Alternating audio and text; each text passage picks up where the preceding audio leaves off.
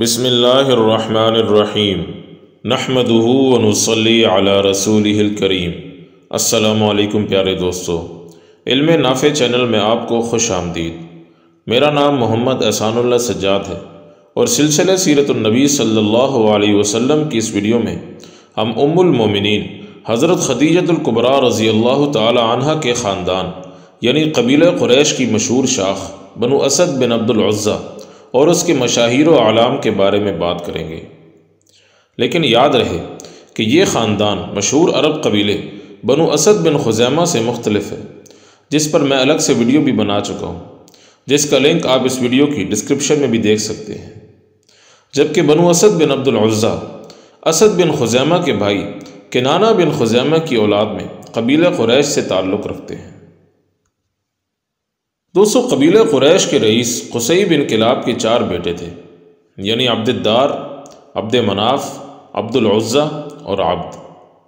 इनमें अब्दुद्दार और इसकी औलाद पर पहले ही तफसील से बात हो चुकी जिन्हें कुसई बिन किलाब ने खाना काबा की हिजाबत या सिदानत का मनसब सौंपा था, जो आज तक उन्हीं के ख़ानदान में चला आता है। इसी तरह कुरैश के मुख्तलिफ़ रियासती मनासिब में शूरा का मनसब अब्दुल्ज़ा और उसकी औलाद के पास था। अब्दुल्ज़ा की तमाम नस्ल उसके बेटे असद ही से फैली। इसीलिए इस ख़ानदान को बनु असद बिन अब्दुल्ज़ा कहा जाता है। असद के कई बेटों से इसकी औलाद फैली, जिनमें हारिस, हुवैरिस, हबीब, खुवैलिद, नौफल और मुतलब शामिल हैं। इसी तरह इसकी एक बेटी उम्म हबीब थी। जिसके बतन से रसूल अल्लाह सल्लल्लाहु अलैहि वसल्लम की नानी मोहतरमा बर्रा बिनत अब्दुल्ज़ा बिन ओस्मान बिन अब्दुद्दार पैदा हुई। दोस्तों, असद बिन अब्दुल्ज़ा के बेटे खवैलिद बिन असद रसूल अल्लाह सल्लल्लाहु अलैहि वसल्लम की पहली जौजा उम्मुलमोमिनीन हज़रत खदीजतुल्कुबरा रज़ी अल्लाह तहा के वालिद थे। इनका शुमार क़ुरैश के मुआज़ और दौलतमंद अफराद में होता था। ये जंग फ़िजार में तमाम बनु असद के सरदार थे और इसी जंग में कत्ल हो गए। और उसके बाद ख़ानदान बनु असद की सरदारी इन्हीं के घर में रही। इनकी औलाद में चार बेटे और दो बेटियाँ थीं, जिनके नाम आदि अवाम हिज़ाम, नौफल, खदीजा और हाला हैं।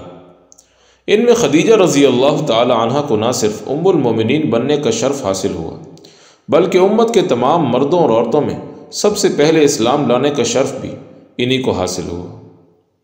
ये पच्चीस साल नबी करीम सल्लल्लाहु अलैहि वसल्लम की अकलौती जौजा रही।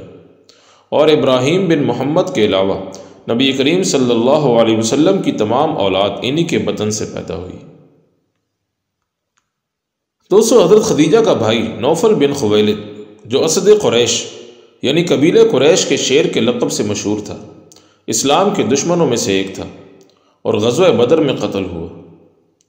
इसी तरह हिज़ाम बिन खवैलिद, जो सहाबी रसूल हज़रत हकीम बिन हिज़ाम रज़ी अल्लाह तन के वालिद थे, अपने वालिद खवैलिद की तरह जंग फ़िजार में ही कत्ल हुए। इनके बेटे हकीम बिन हिज़ाम जलीलक़दर सहाबी थे और हज़रत खदीजा के भतीजे थे। इनकी ख़ास बात यह है कि अक्सर के नज़दीक इनकी विलादत खाना काबा में हुई। जहाँ न उससे पहले, न बाद में किसी की विलादत सुनने में आई। फ़तेह मक्का के मौके पर इस्लाम लाए। नबी करीम सल्लल्लाहु अलैहि वसल्लम ने फ़तेह मक्का के मौके पर फरमाया कि जो शख्स हकीम बिन हिज़ाम के घर में दाखिल होगा, उसको अमान है। गजब हुनैन के माल गनीमत में से आप सल्लल्लाहु अलैहि वसल्लम ने इन्हें सौ ऊँट अता फरमाए। कुल 120 साल ज़िंदा रहे। जिसमें से तकरीबन 60 साल ज़माने जाहिलियत में और 60 साल ज़माने इस्लाम में गुजारे। सन चौवन हिजरी में मक्का ही में वफात पाई। अल्लाह इनसे राज़ी हो। दोस्तों, इसी तरह हज़रत खदीजा के भाई अवाम बिन खवैलिद, मशहूर साहबी और हवारी रसूल हज़रत ज़ुबैर बिन अवाम रज़ी अल्लाह तन के वालिद और नबी करीम सल्लल्लाहु अलैहि की फूफी सफ़िया बिनत अब्दुलमतलब के शोहर थे।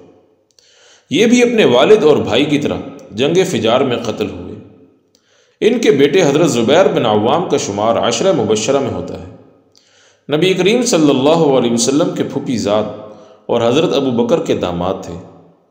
आप सल्लल्लाहु अलैहि वसल्लम ने फरमाया कि हर नबी का एक हवारी होता है और मेरा हवारी ज़ुबैर है। बदरोहद में इंतहाई जाँबाजी से लड़े कि पूरा जिसम छलनी हो गया। इसी तरह तमाम गजबात में रसूल अल्लाह सल्लल्लाहु अलैहि वसल्लम के शाना बशाना रहे।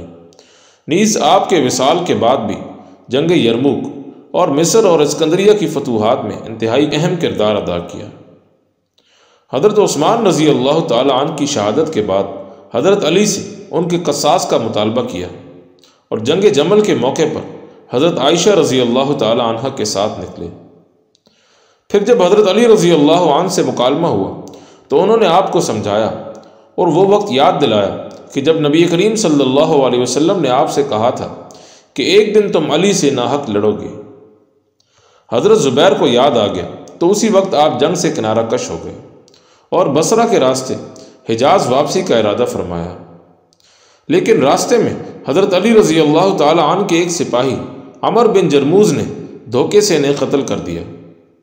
और फिर फ़खरिया तौर पर अपना यह कारनामा बयान करने हज़रत अली के पास हाजिर हो गया। हज़रत अली ने हसरत के साथ तलवार पर एक नज़र डाली और फरमाया कि हज़रत ज़ुबैर ने बारहा अल्लाह के रसूल सल्लल्लाहु अलैहि वसल्लम के सामने से मसायब के बादल हटाए। लिहाजा आए अपने सफ़िया के कातिल, तुझे बशारत हो कि जहन्नम अब तेरी मुंतजर है। इस तरह अल्लाह के रसूल के हवारी चौंसठ बरस में सन छत्तीस हिजरी में शहीद हुए।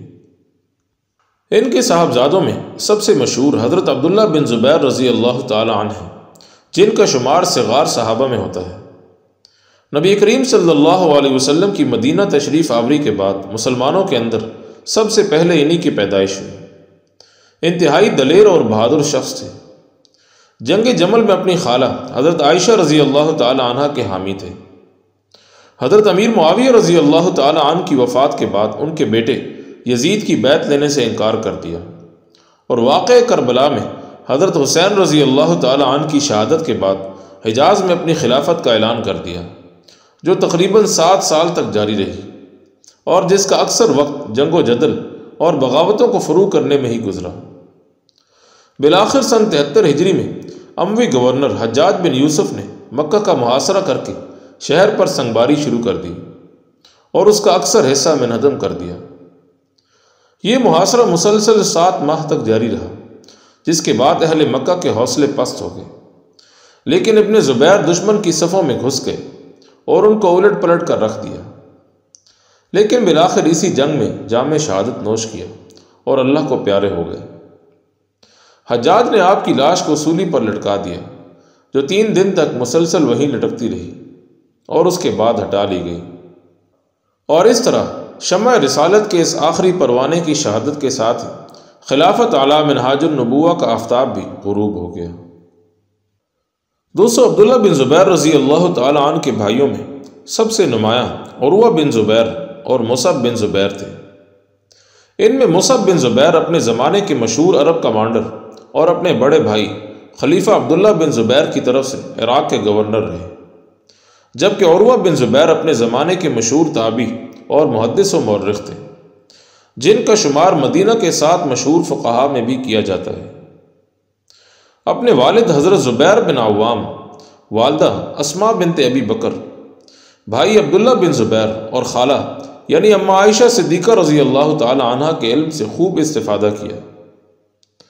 इबन शहाब जहरी इन्हें हदीस का समंदर कहा करते थे। अल्लाह इनके दर्जात बुलंद करे। दोस्तों असद बिन अब्दुल उज़्ज़ा की दीगर औलाद में नौफल के बेटे वर्का बिन नौफल थे, जो उन चंद अशखास में से थे, जो ज़माने जाहलीत में शिरक से दूर रहते हुए दीन हनीफ और शरीयत इब्राहिमी पर कारबंद रहे। तौरात और इंजील के बड़े आलम थे। इस्लाम के इब्तदाई ज़माने में काफ़ी बूढ़े और नाबीना हो गए थे। चुनाचे पहली वही के मौके पर जब नबी करीम सल्लल्लाहु अलैहि वसल्लम फरिश्ते और वही के असर की वजह से परेशान और खौफजदा हो गए थे। तो आपकी अहलिया, हज़रत खदीजा रज़ी अल्लाह तहा आपको इन्हीं वर्क़ा बिन नौफल के पास, जो इनके चचाजाद भाई भी थे, ले गई। जिन्होंने सारा माजरा सुनकर आप सल्लल्लाहु अलैहि वसल्लम से फरिश्ते के बारे में कहा कि ये वही नामूस है, जिसे अल्लाह ताला ने मूसा सलाम पर नाजिल फरमाया था। काश मैं नौजवान होता और उस वक्त तक ज़िंदा रहता, जब आपकी कौम आपको मक्का से निकाल देगी। फिर इस वाक़े के कुछ ही अरसे बाद वर्क़ा का इंतकाल हो गया। इनका ज़िक्र अहदीस में भी वारद हुआ है। दोस्तों, इसी तरह असद बिन अब्दुल उज़्ज़ा के बेटों में मुत्तलिब का बेटा असवद बिन मुत्तलिब था, जो इस्लाम के शदीद तरीन दुश्मनों और नबी करीम सल्लल्लाहु अलैहि वसल्लम का इस्तेजा करने वालों में से एक था। इसके दो बेटे जमा और अकील। नीज जमा का बेटा हारिस बिन जमा गजब बदर में मशरकिन की तरफ़ से कत्ल हुए। जबकि हब्बार बिन असवद उन चंद लोगों में से था, जिनके बारे में फ़तेह मक्का के दिन रसूल अल्लाह सल्लल्लाहु अलैहि वसल्लम ने फरमाया कि अगर वो काबे के पर्दे से लिपटे हुए भी पाए जाएँ तो उन्हें कत्ल कर दिया जाए। ये वही शख्स है जो नबी करीम सल्लल्लाहु अलैहि वसल्लम की हज किया करता था और जिसने नबी करीम सल्लल्लाहु अलैहि की साहबजादी हज़रत ज़ैनब रज़ी अल्लाह तह पर उनकी हिजरत के मौके पर नेज़े से हमला किया और वो हदत से एक चटान पर जा गिरी और इसकी वजह से उनका हमल भी साकत हो गया। ये शख्स फ़तेह मक्का के रोज़ भाग निकला, लेकिन फिर नबी करीम सल्लल्लाहु अलैहि वसल्लम के पास जयराना के मकाम पर हाजिर होकर इस्लाम ले आए और सहाबियत के दर्जे पर फायज हुए। इन्हीं की नस्ल में बाद में एक शख्स उमर बिन अब्दुल अज़ीज़ हुआ, जिसने तीसरी सदी हिजरी में एक नीम आज़ाद इमारत के तौर पर अजीम तर सिंध पर हुकूमत की और हब्बारी सल्तनत की बुनियाद रखी, जो तकरीबन डेढ़ सौ साल से जायद अरसा तक कायम रही।